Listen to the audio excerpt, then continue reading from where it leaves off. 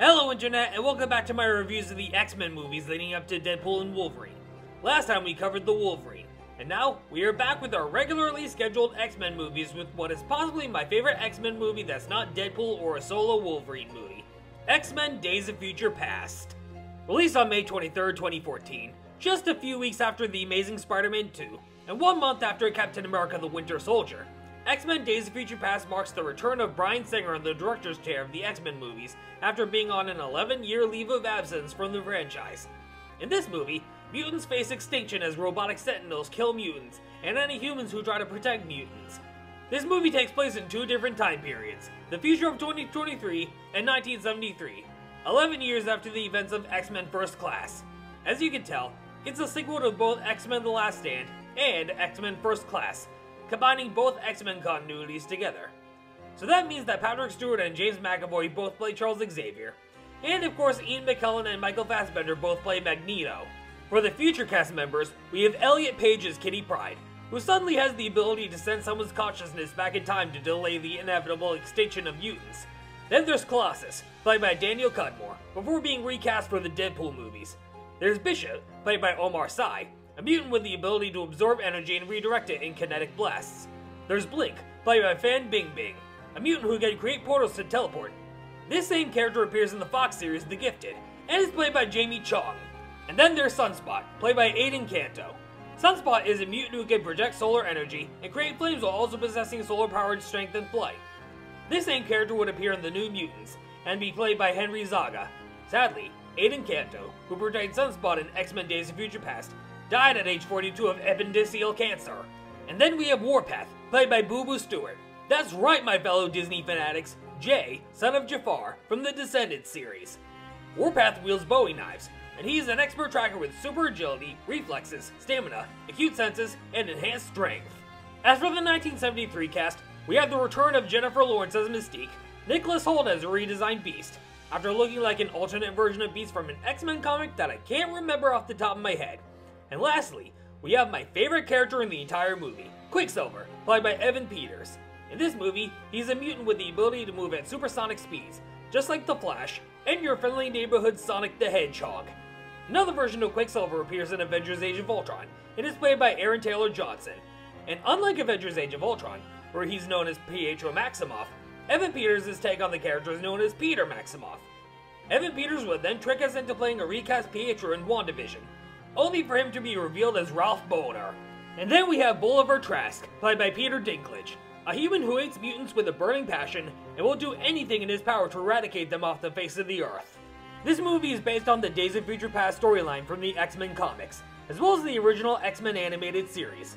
As Wolverine mentioned in my previous review, it was Bishop who was sent back in time in the animated series, and Kitty Pryde in the original Days of Future Past comic storyline.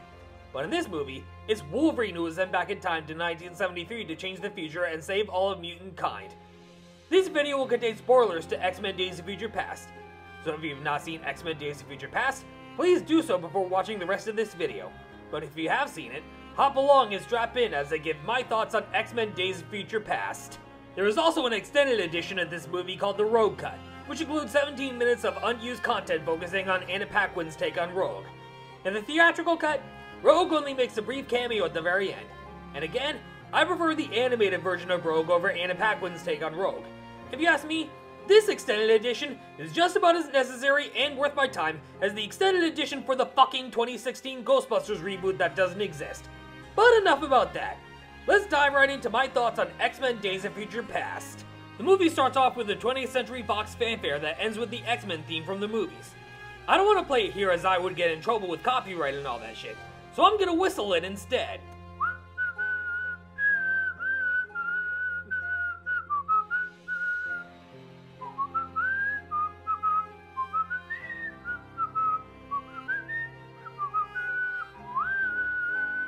This entire movie reminds me of Terminator 2 Judgment Day, in which there is a future where all of humanity faces extinction because of Skynet, and machines that wipe out the humans. I may consider reviewing the first two Terminator movies on this channel, but we will have to wait and see. This movie also features a protector going back in time butt naked to protect a vulnerable young man. In Terminator 2, the T-800 is sent to protect John Connor, but in this movie, it's Wolverine who is sent back in time to get James McAvoy's help to save the mutants. they're trying to stop a shapeshifter from fucking up the future. In Terminator 2, it's the T-1000 played by Robert Patrick, and in Days of Future Past, it's your very own Mystique responsible for the extinction of all mutants. In Moscow, there's a group of X-Men survivors of the Sentinel attacks, consisting of Elliot Page, Colossus, Blink, Warpath, Bishop, Sunspot, and Iceman, in which Shawn Ashmore makes his return to the X-Men series after his appearance in X-Men The Last Stand. Oh, believe me, Fox, this is the real Last Stand for the X-Men. The Sentinels in this movie adapt to survive any kinds of attacks against any mutant powers, be it ice or fire, or anything else in between, all thanks to Mystique's DNA being implemented into Bolivar Trask's Sentinel program. The other mutants die during the attack, sacrificing themselves to buy Elliot Page enough time to send Bishop's consciousness a few days into the past to warn the others about the oncoming attack and ensure their survival. This process keeps happening ad infinitum so that they don't permanently die. The attack is reverted, and the remaining X-Men make it to China where they are joined by Patrick Stewart, Ian McKellen, Halle Berry, and Hugh Jackman, fresh off of 2013's The Wolverine. There, Patrick Stewart explains to the surviving mutants that the Sentinels were developed by Bolivar Trask, weapons designer assassinated by Raven Darkholme in 1973. Following the death of Trask, the government captured Raven and used her DNA to create Sentinels capable of adapting to any mutant power. Now, what I don't get here is how Charles came back to life after being obliterated by the Phoenix in The Last Stand, and how he returned as Patrick Stewart in The Wolverine and Days of Future Past. Did the patient he sent his consciousness to at the very end of The Last Stand also look like Patrick Stewart? Or did Patrick Stewart pull a Wonder Woman 1984 and possess the body of an innocent man, thus going against the laws of nature? Also, at the end of The Wolverine, the Silver Samurai cut off Wolverine's adamantium claws, and he grew bone claws to finish him off. How he got his adamantium claws back, I have no fucking clue. But I have a feeling that it was Ian McKellen who was responsible for restoring his adamantium claws. But anyway, Charles wants to go back in time to 1973 to stop Raven from killing Trask, but the trip would kill him. So Logan makes like Jennifer Lawrence's other iconic film character and volunteers as tribute, since Logan was alive in 1973 and is over 100 years old in present day. So then Elliot Page sends Logan's consciousness back to 1973, where he wakes up in a waterbed, butt naked, in an image I will not show here as I will get demonetized, and get into serious trouble for showing content that is not allowed on YouTube. Back then, Wolverine had bone claws, and he didn't get his adamantium claws until that fucking dumpster fire known as X-Men Origins Wolverine. And because of this, I'm gonna give him the nickname Bone Claw McGraw. After stealing a random goon's clothes, Logan makes his way over to the X-Men mansion, where Hank McCoy appears as a normal human being who transforms into a blue beast. Hank explains to Logan that the school has been closed for years due to the Vietnam War, and Michael Fassbender was in prison for assassinating John F. Kennedy. But again, we already know the whole story of Kennedy's assassination, so I need not explain it here. And from this point forward, when describing Charles and Eric all throughout this movie, I'm gonna refer to them as their actors' names, just like I've done on my old channel with Spider-Man No Way Home, to talk about Tobey Maguire, Andrew Garfield, and Tom Holland, all appearing as three different variants of Spider-Man, kicking ass and saving the multiverse. James McAvoy turned to alcoholism and takes a serum that allows him to walk at the cost of his telepathic abilities. And this is where we get one of my favorite line deliveries from James McAvoy. You know, I think I do remember you now. Yeah. Tall, angry fella with contentious hair. We came to you a long time ago seeking your help. And I'm going to say to you what you said to us then. Fuck off. Uh, no. He said go fuck yourself. He didn't say fuck off. They're two different insults. Silver doesn't say go fuck yourself, Shadow. He says fuck off, Shadow. You know I can hear you, right, Silver? Oh, be quiet, Shadow. I get that go fuck yourself and fuck off both conveyed the same message. But I have a question for James McAvoy. Do you really remember every word that Hugh Jackman said to you 11 years ago? For someone with a powerful mind, your memory at times is not the best. Also, I feel that James McAvoy telling Wolverine to fuck off was a prelude to Patrick Stewart's role in Logan, where he keeps saying fuck and shit in almost every fucking scene since Logan is rated R, and they pull no punches with the R rating. As to where Raven is right at this moment, she's in Vietnam breaking a group of mutants out and fighting off against their human captors. There, we see a younger version of Toad from the first X-Men movie, and a mutant with tattoos on his body that allow him to use several different powers, such as making a couple guys vomit their guts out. As we established in my review of Ghostbusters, I often get queasy whenever a character vomits on screen, such is the case with The Flash, when the future version of Barry Allen, who lost his super speed, went too fast because of the past version of Barry Allen, and he just threw up everywhere. And I had to shield my eyes when I saw Team America World Police. But yes, making somebody puke their guts out with non lethal weaponry, they got that from two movies I can think of off the top of my head. One of them is Minority Report, and the other is Kick Ass 2. But I know that's not what happened to Sonic in Sonic and Seanic's Mixed Up Afternoon. Uh, oh god, I think I'm gonna be sick. Sonic?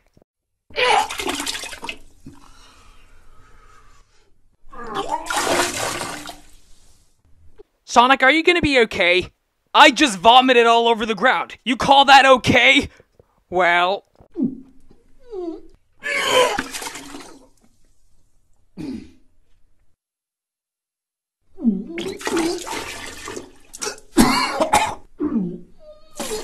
But anyway, back on to X Men Days of Future Past. Wolverine takes James McAvoy and Hank to the house of Pietro Maximoff. At least I wish his name was Pietro, but no. They had to rename him Peter to avoid a conflict with Disney. At the time, Fox and Disney shared the rights to both Quicksilver and Scarlet Witch. We don't even see Wanda in the X Men movies. But with Avengers Age of Ultron, they only had him appear in one movie before killing him off in the final act. Like I said, Evan Peters as Quicksilver is my favorite character in Days of Future Past and Apocalypse. But they completely fucking wasted him in Dark Phoenix. Because Dark Phoenix did not have any scenes where he slows down time and does a bunch of crazy shenanigans while a popular song plays in the background, unlike with Days of Future Past and Apocalypse. The first Sonic the Hedgehog movie even borrowed from the X-Men movies with the bar fight scene where everything around Sonic slows down, and he does a bunch of crazy things like taking a selfie, eating chili dogs, giving someone a powerful wedgie, wrapping up some random dickheads with toilet paper, and putting a taxidermy bear head on the brute who picked a fight with Sonic and Tom. Plus, I even pulled off a scene like that in Sonic and Seanic's Scourge of Darkness. We found the hedgehogs!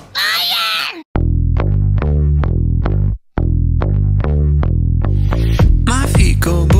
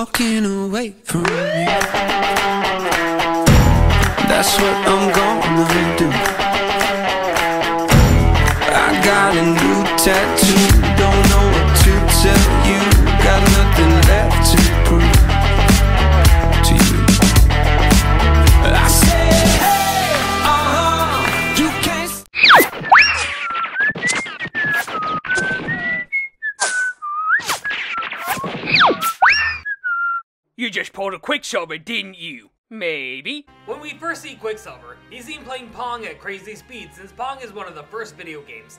Way before Super Mario Bros., way before Pac-Man, way before The Legend of Zelda, way before Mega Man, way before Final Fantasy, way before Kingdom Hearts, and way before Sonic the Hedgehog.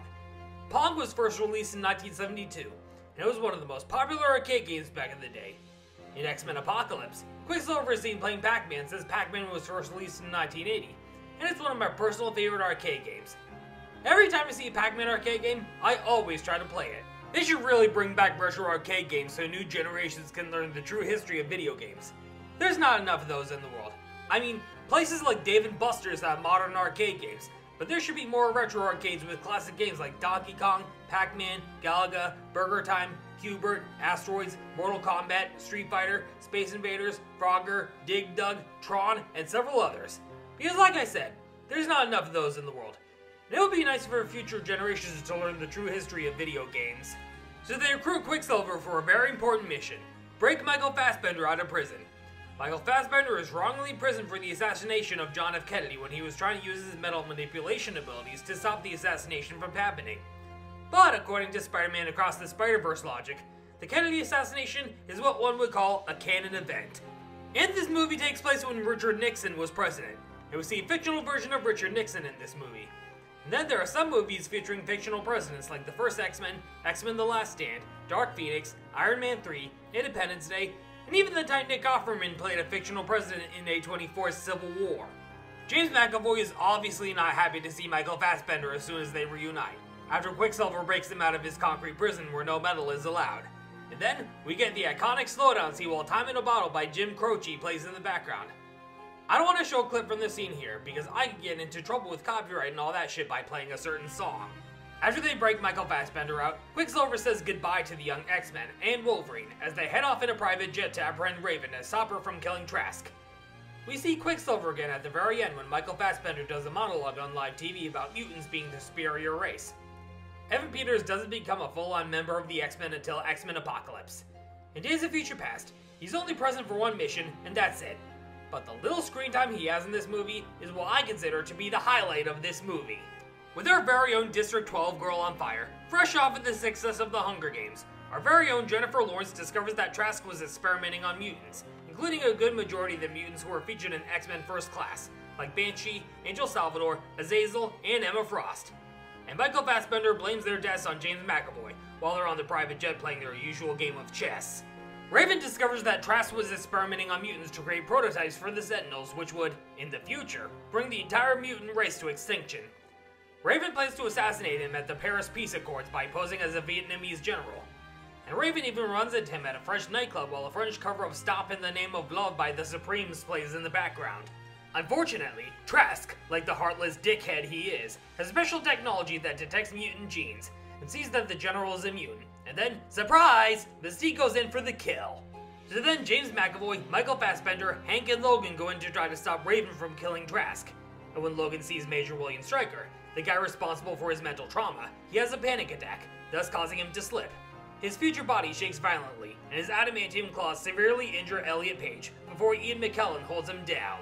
Meanwhile, Michael Fassbender believes that the future can be changed if he kills Raven, but Hank fights him off. But as Raven escapes, she, Michael Fassbender, and Hank are exposed as mutants. This causes Trask to convince Richard Nixon to authorize the Sentinel program, meaning that Skynet is real, and the Terminators are gonna fuck up humanity as we know it. Like I said, I feel that this movie borrows heavily from the Terminator films, particularly Terminator 2. I don't know if it was Bryan Singer's intention, I'm just pointing out an observation with this film. Later on, Michael Fassbender breaks into Trask Industries, infuses the Sentinel prototypes with metal so that he can control them himself, and grabs his telepathy blocking helmet so he can go back to his evil ways and become the dickhead that Ian McKellen would eventually become. However, in the future, Ian McKellen is an ally to the X Men, uniting with them to face a common enemy. Back at James McAvoy's mansion, James McAvoy abandons the serum, allowing his powers to come back, and for him to lose the ability to walk again. James McAvoy reads Logan's mind, seeing his traumatic past, or in this case, traumatic future, involving his Weapon X procedure and him having to kill Jean in X Men The Last Stand. James McAvoy initially breaks down saying he doesn't want his suffering or his future, he asks him to look past all that so that Patrick Stewart can inspire him to protect the relationship between humans and mutants. And we get what is possibly my favorite quote from Patrick Stewart in the entire X Men film series. Just because someone stumbles, loses their way, it doesn't mean they're lost forever. Sometimes we all need a little. A quote I take into account in real life, and so should anyone when it comes to mental health. We then see the 1973 version of Cerebro, updated from its original design from X Men First Class, and James McAvoy uses it to locate Raven, who is on her way to Washington, D.C. to continue her vendetta and kill Trask. James McAvoy even convinces her to go back with him so they can be friends again. Hell, even siblings like they were in X Men First Class.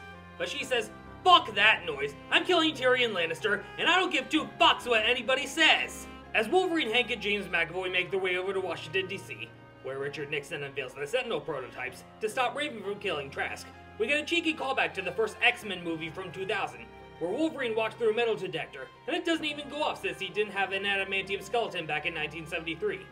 Before that, Wolverine tells James McAvoy about Jean Grey, Scott Summers, and even Storm, so that they can later join the X-Men in X-Men Apocalypse. Michael Fassbender makes his way over to an empty baseball stadium, the RFK Stadium that's sadly no longer open as of 2019. He lifts the stadium and floats above the ground and uses it to barricade the White House and activate the Sentinel prototypes and kill as many people as possible. This causes James McAvoy to be injured and unable to move. Logan is also incapacitated as Michael Fassbender impales him with a rebar and sends him flying into the Potomac River, the same river where the final battle in Captain America the Winter Soldier takes place above, as Cap tries to stop Hydra from launching Project Insight. And the same river that Cap falls into as Bucky comes back to his senses. During this final battle, future and past scenes are played concurrently, as in the future, the X-Men are discovered by an army of Sentinels, they have nowhere to run because Elliot Page is wounded, and he's tried to hold Logan's mind together. Again, I am not calling him Ellen, even though the credits say Ellen. This was a few years before he started going by Elliot. The future X-Men try to buy time to protect the mutants inside the Chinese temple, but are killed one by one. And in 1973, Raven is inside the White House bunker with Trask and Richard Nixon, getting ready to kill Trask with a plastic gun. Then, Michael Fassbender rips the bunker out of the White House and is ready to kill everyone. This is where we get a rousing speech from Michael Fassbender, in what is quite possibly Michael Fassbender's best monologue as Magneto. You built these weapons to destroy us. Why? Because you are afraid of our gifts. Because we are different. Humanity has always feared that which is different. Well, I'm here to tell you, to tell the world. You're right to fear us. We are the future. We are the ones who will inherit this earth. And anyone who stands in our way will suffer the same fate as these men you see before you.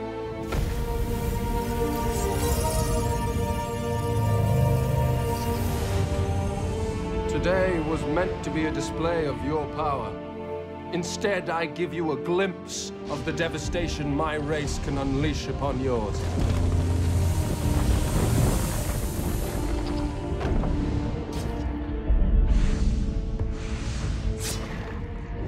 Let this be a warning to the world. And to my mutant brothers and sisters out there, I say this. No more hiding. No more suffering. You have lived in the shadows in shame and fear for too long. Come out. Join me. Fight together in a brotherhood of our kind. A new tomorrow that starts today. Charles telepathically convinces Raven to spare Trask, and she then agrees and drops the plastic gun, and thus, the Sentinel program is shut down and the future is saved. Raven is even hailed as a hero as it was a mutant who saved President Nixon's life. Trask is arrested for selling military secrets to foreign governments. As for Logan, he wakes up at the old X-Men mansion where he sees the X-Men alive and well, including Kelsey Grammer, Sheriff Tom Wachowski of Green Hills, Montana, and even Famke Janssen. We also see Rogue in a small cameo, unless you're watching the Rogue cut, which frankly, you don't really need to. Logan finds Patrick Stewart and he welcomes him back to the mansion. Logan even asks him to give him information about modern history from 1973 to the present. And in 1973, Raven rescues Logan from the river disguised as William Stryker, and that's the end of the movie. Or is it? We get a post-credit scene teasing X-Men Apocalypse, as we see En-Sabah Nur building pyramids in ancient Egypt as his four horsemen watch from afar. I'm giving X-Men Days of Future Past a 9 out of 10. It is definitely my favorite X-Men movie that's not a Deadpool movie, and not a solo Wolverine movie. And It is the darkest X-Men film thus far, with themes of inevitable extinction for all mutants as Terminators close in on them, and not even their powers can save them. It also has a unique mode of time travel, having Elliot Page send someone's consciousness into the younger bodies. And then, we have Avengers Endgame, where the Avengers travel through time via the quantum realm. If there are any gripes I have with this movie, it would have to be minor things like Evan Peters not having a whole lot of screen time, even though Quicksilver is my favorite character in this entire movie. And also Jennifer Lawrence's makeup as Mystique compared to Rebecca Romijn. Rebecca Romijn, I felt, was more convincing in terms of makeup rather than Jennifer Lawrence. Also, the unnecessary redesign of Beast. I mean, he looks better than he did in X-Men First Class, but was a redesign really necessary for Nicholas Hoult's take on Beast? Plus, from what I've heard, the animated series and the comics did a better job at adapting the Days of Future Past storyline for the X-Men than this movie. But I never got to experience either of them.